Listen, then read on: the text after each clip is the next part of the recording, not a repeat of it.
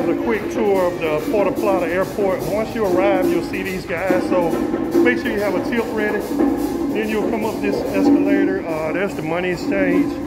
I wouldn't recommend the money exchange because the rates are much better if you just go somewhere in the city. Uh, there's only a few gates. I think it's four. This is my gate, uh, American Airlines.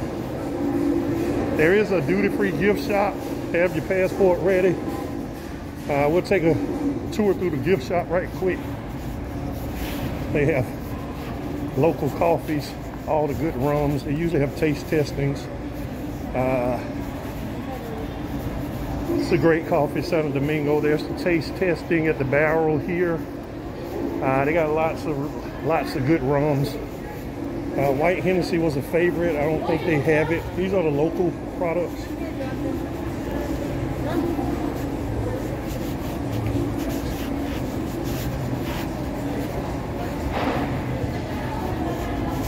But like I said, I don't think they uh, have the White Hennessy now. Uh, the great thing about here, they do have it. It's over here. More local products. Uh, the good thing about it, uh, they have great prices. There's the pure white Hennessy. A lot of people get it by the case. Uh, you can take a case on the plane. Uh, they have all your Johnnie Walkers. This is the good part. I like the copper, which is uh, the Cuban cigars. Uh, they have a great one with the white Hennessy. Uh, that's always my favorite, the pure white Hennessy dip cigar. And they do have some. Montecristo is good, uh, especially the platinum. But yeah, so um, we're gonna come out of there before I spend a little too much money. Uh, they have all the fragrances for the women's, for the fellas. When you visit over here, a lot of people like, especially the women like the fragrances. So grab some perfume. They have eyeglasses, candy.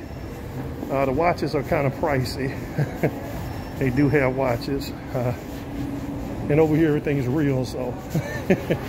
Whatever you buy is gonna be real. They have bags. And that's where you check out. So you'll check out here. Usually the line is long, so it wasn't a long line. They do have like souvenirs as well. The keychains are my favorite. Uh, there's a VIP lounge. I think you can pay daily if you want to stay in there. And it's about $25 a day. And you can wait on your plane. Uh, you can buy snacks, sandwiches. They didn't have tuna today, so I didn't get one.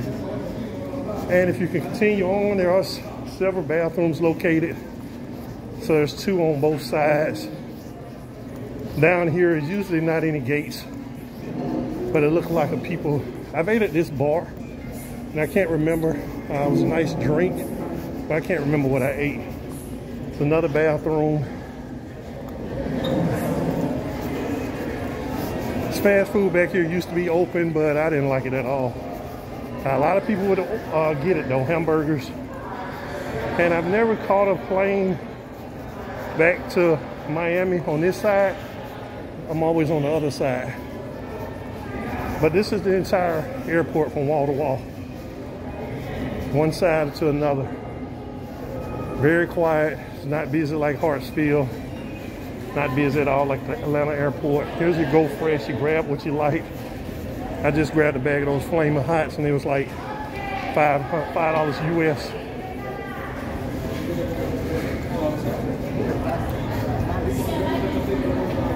But we're on one end. We'll go back to the other end. Like I said, it's not that big. It actually looks like it's eight gates. I thought it was on, no, 10 gates. I thought it was only four. There's a plane out there getting ready to board. They're boarding now. I give you a close-up of the plane. I'm out of breath because I'm carrying this heavy bag and I got this mask on. There's the plane.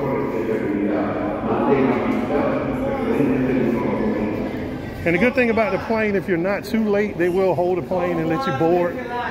They'll let you board outside. not like Hartsfield, once they close the door, you're not getting on the plane or whether it's life or death. So they do give you a little, one time they walked me out onto the runway, so I thought that was that was great. I was an hour behind on my clock, and I didn't realize it. I didn't set my clock.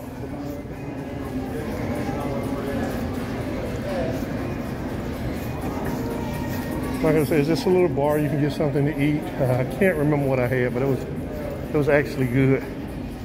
Hamburger.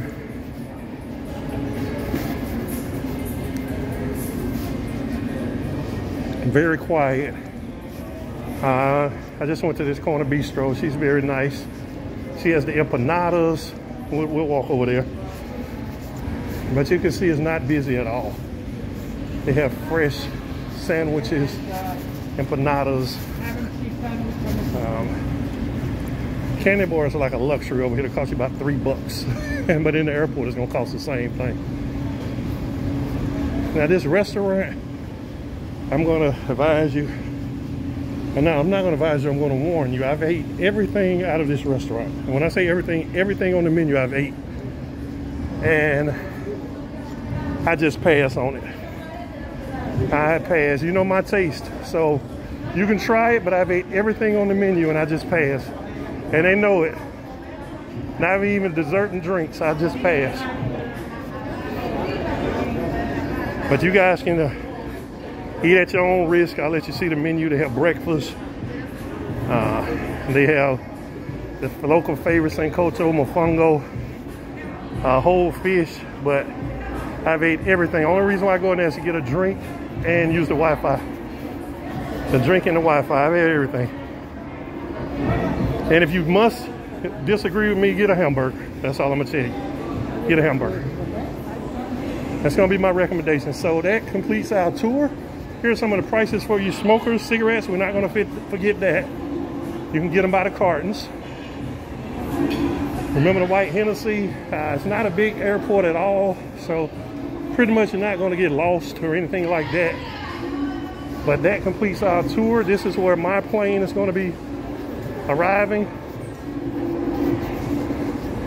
And even the case quesadilla was, wasn't good. So I'm going to just tell you guys, get you a hamburger. and good luck. And there's the bathroom. But we're going to be boarding in a little while. As soon as the plane comes, they'll jump off, we jump on. You don't wait too long. Uh, make sure you grab a couple of these souvenirs. Support the locals that sell on the islands but because they actually sell cheaper than the, uh, really it's just the same price. So if you're gonna buy from the airport, you can buy from the locals on the island.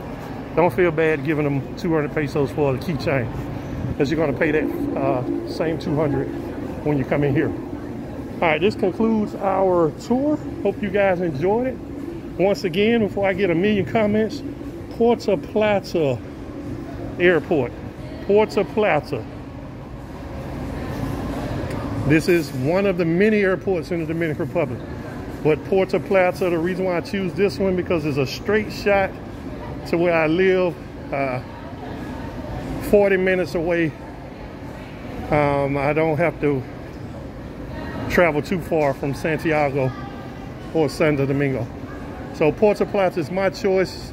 40 minute nice ride to my destination. That's why I choose this one. You can go Santo Domingo, Santiago, and do a couple of more uh, minutes, hours, whatever, to get to your destination. But you are close to Sosua from here. You are close to Sosua and Puerto Plata. So I'm gonna wrap it up. I'm not going in here. I'll see you guys later. Subscribe.